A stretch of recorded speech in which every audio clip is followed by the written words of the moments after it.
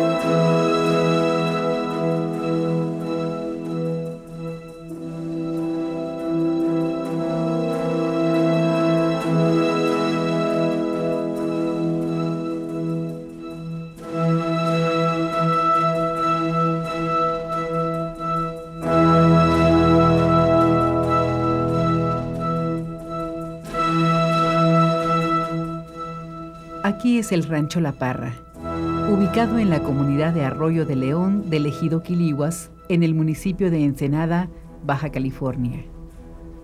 El ejido Quiliguas es apenas una mínima parte de lo que fue el territorio tradicional quiligua de 1.500 millas cuadradas, extendidas entre las sierras de Juárez y de San Pedro Mártir, San Felipe y San Quintín. Nuestro informante es Trinidad Uchurte, uno de los 32 quiliguas que en la actualidad sobreviven, de los 1.300 que poblaron estas tierras en la antigüedad. Su familia, la familia Uchurte, representa uno de los cuatro linajes quiliguas de los 13 que existieron antes de la llegada de los colonizadores.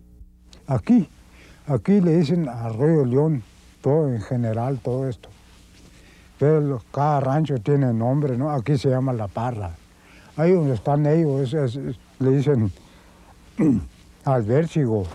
Y más arriba le dicen San Antonio. Y más allá donde está el, Leandro le dicen cuatro. Cuatro, esos son cuatro aguajes, ¿no? Toda esa gente viene del norte. No acá en el sur, ni acá, ni acá tampoco viene del norte directamente. Primero llegaron los Paipai, después llegaron los Quiligua. Los Quiliguas son miembros de la familia lingüística yumana que se desprendió del grupo Jocano Sioux y que hace 3.000 años arribó a Baja California procedente del suroeste de los Estados Unidos. Una parte de la familia yumana se asentó en el desierto central de la península, los Cochimí, mientras que otra parte se estableció en la región norteña, los yumanos del norte. Entre ambos grupos se desarrollaron rasgos lingüísticos y culturales notablemente distintos. Sin embargo, los cochimís, con todo y su habilidad para resistir a las peores condiciones climáticas, no pudieron resistir al contacto con los evangelizadores y se extinguieron por completo, sobreviviendo únicamente los yumanos del norte, es decir, los cucapá, que encontraron su vida en las márgenes del río Colorado los Khmiai, que tuvieron una orientación costera hacia el Pacífico, los Paipai y los mismos Quiligua, que encontraron alimento en las montañas. Yo me siento muy triste ya. Yo me siento ya quedamos un poco. Ya quedamos un es cierto, es cierto. Yo ya quedamos un poco. Más antes sí había donde quiera hay, pues puro Quiligua así mis parientes todos andan trabajando para allá y para acá y, ahora ya no hay. Los de aquí nomás. La cultura quiligua es la que más se alejó de los patrones observados por las demás tribus del norte, al tiempo que observó las más sorprendentes semejanzas con los extintos habitantes del desierto central. Solamente los quiligua, entre los grupos que aún sobreviven, conocieron como los cochimís el empleo de capas de cabello humano.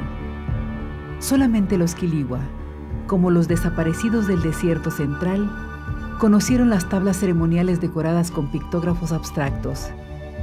Y solamente los Quiligua practicaron hábitos alimenticios característicos de los cochimís.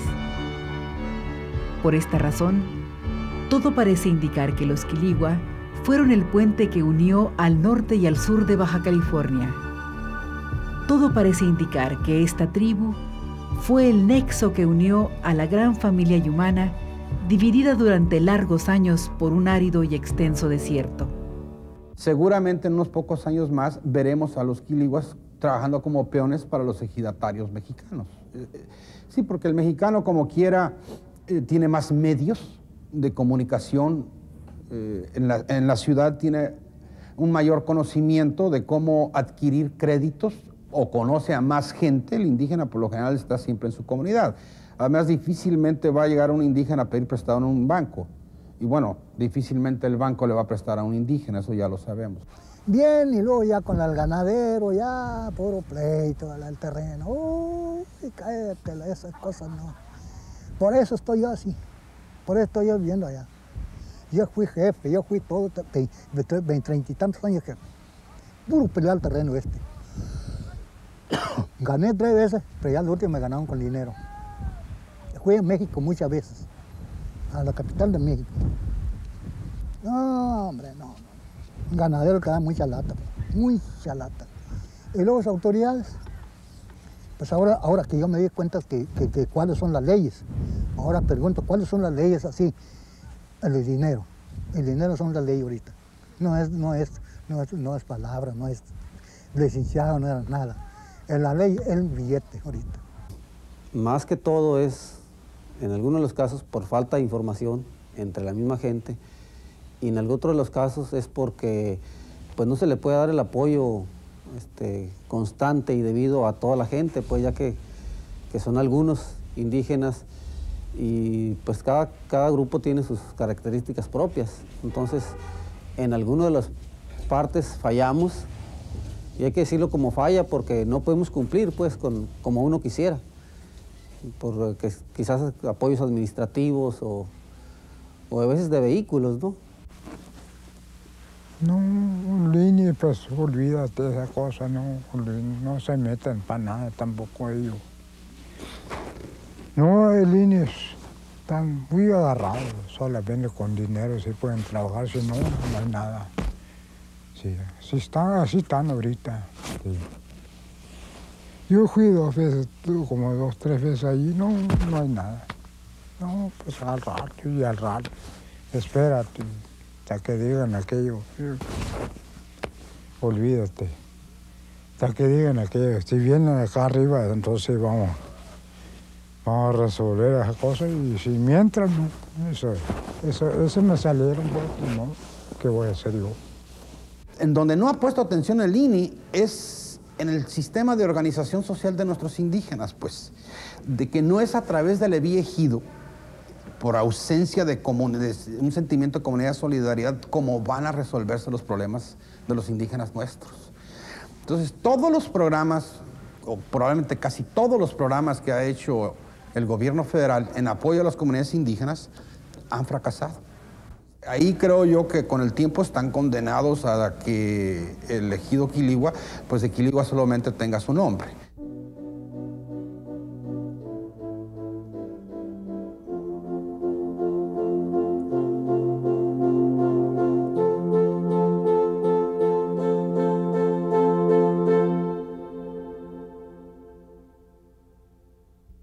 no, mi mamá ahora hace después, no hace. Después de eso, al 70, se murió. Sí, lo y veo toda parte, San Felipe, Mexicali, Tijuana, Senado, Tecate. No, no supieron qué enfermedades. Ya al último, un viejito llegó ahí conmigo. ¿Qué pasó? No, es que anda avanzando con mi madre que se fue el 70. No, tu pues mamá ya, ya se va, ya se va.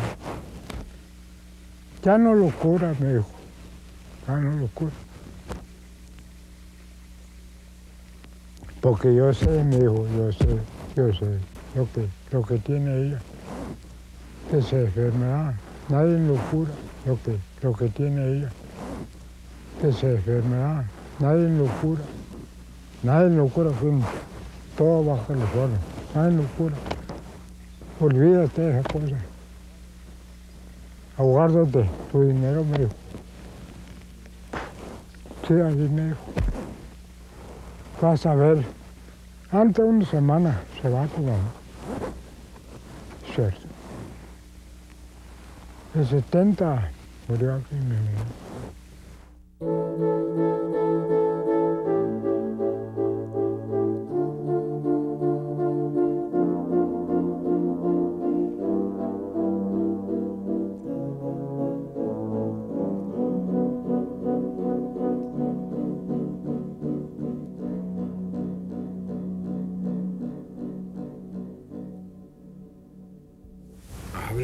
Se murieron todos, quedó, no quedó ni uno.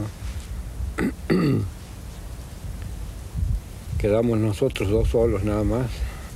El último se lo murió de 32 años, así que casi como cuatro años pasados. Morían en manos de doctor, pues los doctores decían que no tenían nada. Y yo ya la última niña las tuve yo en manos doctor, doctor, pues yo quiero que, que mi niña saber, que las vea. Venía, las miraba y no, nada, de la noche a la mañana, en un ratito nomás se ponían así y amanecían tendidos. No,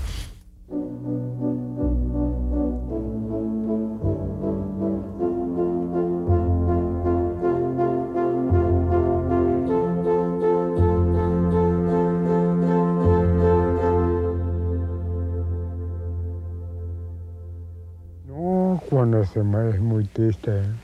muy triste para, para nosotros. Tenido que velar dos noches, dos noches, sin dormir nada nosotros, nada. Eso es cuando ya lo enterramos el final, el finado, el finado, ¿no? Ya tenemos que tumbar la casa y todo y lo vamos a quemar. Pero en la madrugada, ¿eh? no de día ni nada. Ya como, ya como la... De cuando ya, ya viene amaneciendo, ¿cómo se dice? La madrugada grande, ¿no?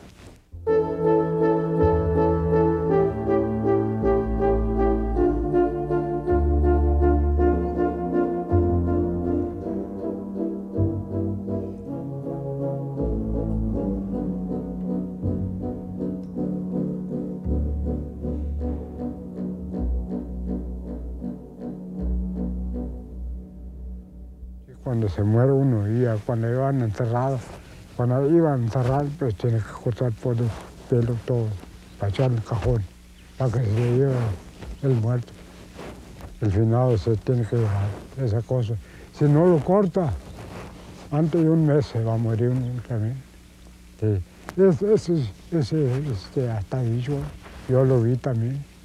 Yo lo una tía mía, no, muy corajuda, es muy corajuda. Sí, se murió una hermana de ella. Ella se murió uno. Y no quise cortar el pelo. No, ¿para qué? Eh, Por demás que dijo ella. Se peleó con, con la mamá, ¿no? No, es por demás. ¿Quién va a saber esa cosa? Solamente Dios que dijo ella. No, pero hija, corta el pelo. Porque antes. ¿Por qué te vas a morir? Que dijo porque ese difunto está viendo a nosotros que tiene, tiene necesitado esa cosa del pelo. Ese, ese va a ser una cosa por allá, dice, por allá, por allá, donde va ella. Él va a ser una cosa para nosotros. Pero, tú no, pero tú no le das ese pelo, pues, ya sabes. Por eso te digo que mejor corta el pelo y lo das a ella y se, se lo lleva. No, no quiso, no quiso. No, ella no, no. He peleado con la mamá y la fregaron. Se echó la vida y todo, ¿no? Pero ahí lo dejaron venir mono. ¿Cómo le van a obligarle? Cortar el pelo, nada. No, como antes, al mes, se enfermó ella. Se enfermó le pegó, le pegó ese, ese, ¿cómo se dice? Cáncer, cáncer. Ya ves, mi hijo, bueno. La mamá todavía se acuerda de esa, ya ves. Ya, ya no te escapa tú. ¿Cuántas veces te ha dicho a, a usted que dijo a ella? Pues una vez más que una vez dije, pero por es que no le agarré la onda, y ahí, tú no agarraste la onda, pues ahí se va, ahí se va. A los tres días se murió ella.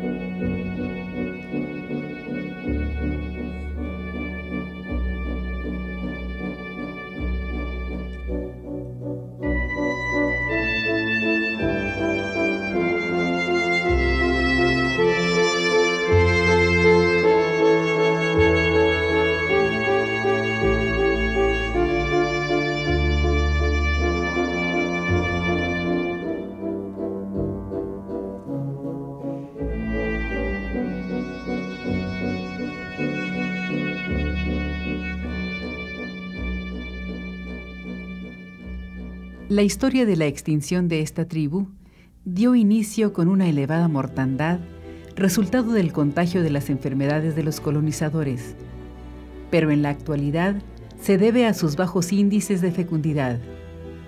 Para algunos, esto se debe al consumo de la palmilla, planta que al parecer posee propiedades anticonceptivas.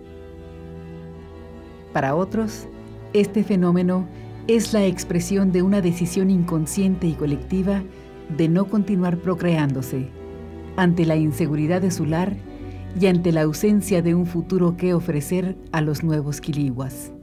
Si nosotros de grandes no servimos para nada, ellos, los niños indígenas, ¿para qué vienen al mundo? Mejor hay que acabarlos. Y eso lo dijo un, un. No, pues ya vamos a morir todos aquí. Ya no vamos a llegar ni 20 años, ni 5 años tampoco. Sí, por ahí más o menos. Nosotros estamos a 92, ¿no? ¿Cuánto falta para 2000? Ese nunca vamos a llegar, ¿eh? Algo curioso entre ellos es que eh, no, eh, no hay mucho interés, al parecer, entre ellos por conseguir pareja. Entonces van a, están llevando a un, un, una especie de autogenocidio. Este, eh, considero que eso es lo más serio de este grupo. Por eso, ¿por qué? Por, eso, se habla de la extinción de- de- del grupo Quiligua. Pero el cambio total de, de alimento, el cambio total de sus tradiciones, el cambio total de todo, se los fue acabando. Es decir, cancelarle a un grupo étnico la posibilidad de manifestarse como él es, te acaba.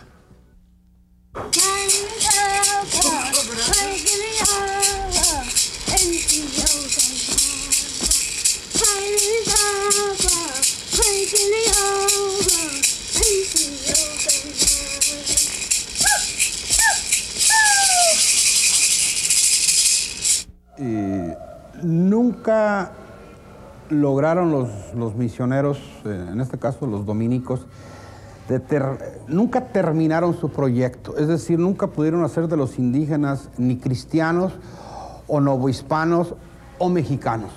Entonces, yo he pensado que los dejaron una especie de limbo cultural, es decir, como uno dice, colgado de la brocha.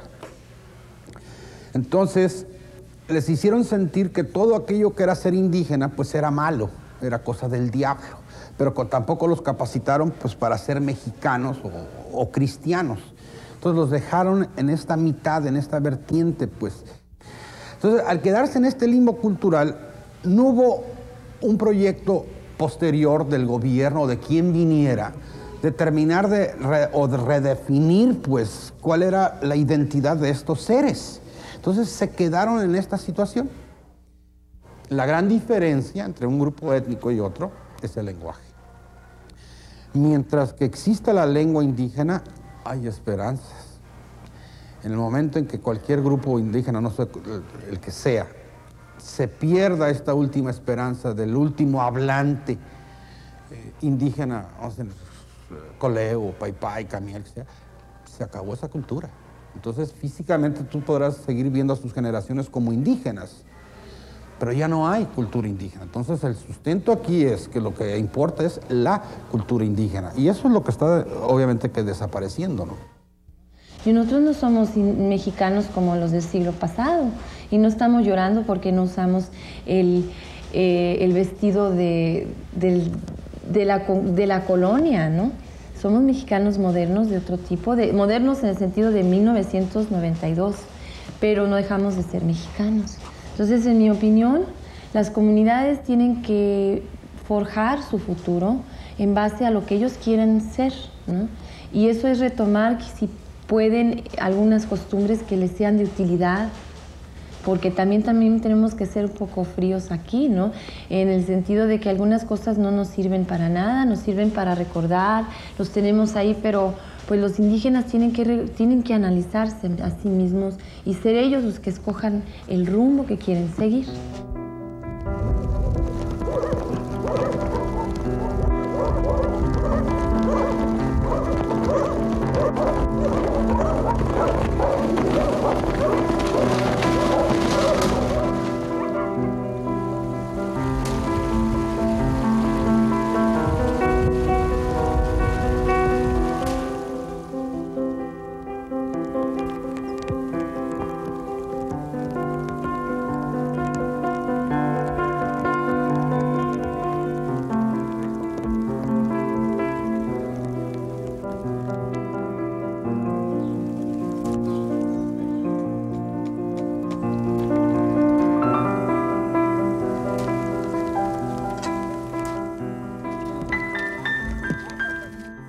Cualquier persona que decida explorar las rancherías de las sierras de Juárez y San Pedro Mártir, tal vez duerma en una comunidad indígena sin percatarse de ello. Los rasgos entre estas y las comunidades mestizas pobres no parecen ser muy diferentes. Posiblemente, lo único que quede de estas culturas es aquel elemento que no se puede ver ni tocar. Aquel elemento que pasa inadvertido para los amantes del folclore y de lo pintoresco aquel aspecto que no existe para quienes los indígenas son simplemente objetos de museo. La identidad. La conciencia de ser los primeros pobladores de la Baja California. Pues yo siento muy orgullosa por ser indígena, porque nosotros fuimos los primeros pobladores de aquí de Baja California. Pues yo soy, creo, nacido aquí. ¿Para dónde me voy? Pero yo no vengo a otra parte. Yo soy de aquí, salgo por ahí, pero vuelvo otra vez aquí. Muy orgulloso que soy Pai ¿Por qué? Porque no hay otro Pai en otras partes, creo. Es decir, Pai Pues yo le digo que no en vergüenza de su raza, ¿verdad? Que porque yo pues ya estoy vieja, ¿verdad? Ya tengo muchos años, mañana pasado yo voy a faltar y yo quiero que queden unos de mi lugar que cante, que baile, que no da vergüenza nada de hablar en la idioma, ¿verdad? Eso les digo todo el tiempo que los que tengo aquí, los que están conmigo. Y no me siento ofendido porque, porque soy un indio. Yo lo que quiero hacer que mi reserva que se levante como, como en aquel tiempo. Sí, dije que toda la gente vaya a nacer otra vez de vuelta. Entonces va a ser, vamos, puro quiligua. No hay español ni nada, no, todos vamos a platicar con puro quiligua, vamos a hablar. Una sola palabra nomás, no, no otra lengua ni nada. Eso dijeron también. Ahorita hay mucho, pues, español. Y, mucha gente habla de otro modo eso se va a acabar también.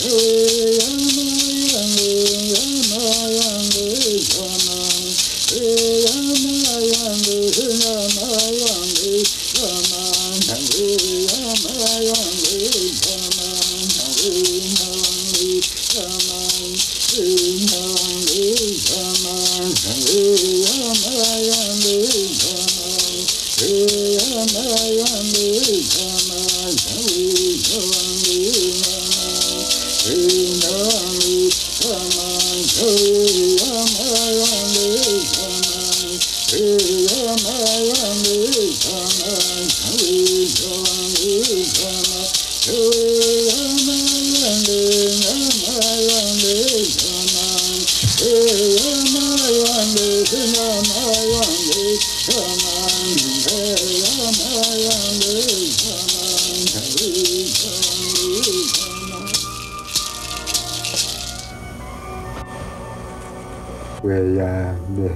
despedida, ¿no? Pues ya, ya van a retirar mis compañeros, yo me quedo solo. Eso quiere decir. ¿Y qué voy a hacer? Dice también. Ya me quedo solo. Mis compañeros ya se van. Eso quiere decir, está hablando así. Es siempre medio triste.